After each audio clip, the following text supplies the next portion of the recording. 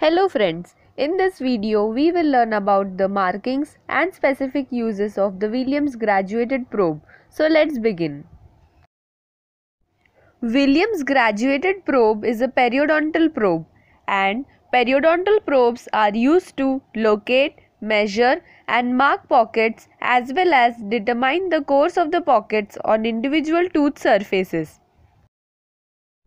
The Williams graduated probe is also known as University of Michigan O probe with Williams markings. Let's now first learn about the specific periodontal uses of the Williams graduated probe. So the first use of the Williams probe is to check for bleeding on probing around the teeth. The second use of the Williams probe is to measure the periodontal pocket depth. Periodontal pocket is a pathologically deepened gingival sulcus and its depth is measured from the gingival margin to the base of the pocket. The third use of the Williams probe is to measure the degree of gingival recession on a tooth. It is measured from the gingival crest to the CEJ. The fourth use of the Williams probe is to measure the amount of clinical attachment loss around a tooth. It is also known as CAL. It is the distance between the base of the pocket and a fixed point on the crown like the CEJ. The fifth use of the Williams probe is that it is used to measure the width of the attached gingiva. The width of the attached gingiva is an important clinical parameter. It is the distance between the mucogingival junction and the projection on the external surface of the bottom of the gingival sulcus or the periodontal pocket. So we have learned the five uses of the Williams probe. Let's now see what markings are present and what markings are missing on the Williams probe.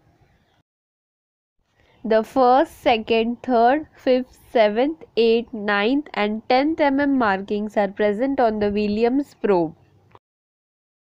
And the fourth and sixth mm markings are missing on the Williams probe. So now we have learnt about the specific uses of the Williams probe and seen what markings are present and what markings are missing on the Williams probe.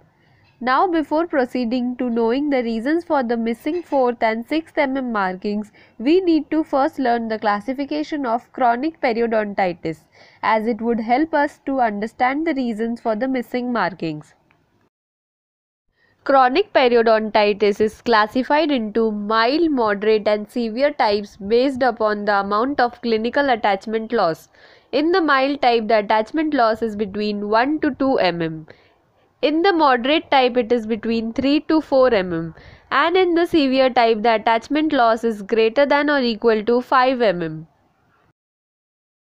Now coming to the reason for the missing markings. One reason is that when less markings are present on the probe, therefore there will be better visibility and then it will reduce the confusion and help the clinician to determine the accurate pocket depth easily. Another reason is that the 5 mm marking which is present on the probe is the optimum pocket depth which can be managed and the 4th and 6th mm marking on either side of 5 mm are missing where 4 mm is the upper limit of moderate periodontitis and 6 mm is the lower limit for severe periodontitis. Hence it will help to easily differentiate between moderate and severe forms of periodontitis. Please subscribe our channel Dento Friend for more such videos and do hit the bell icon.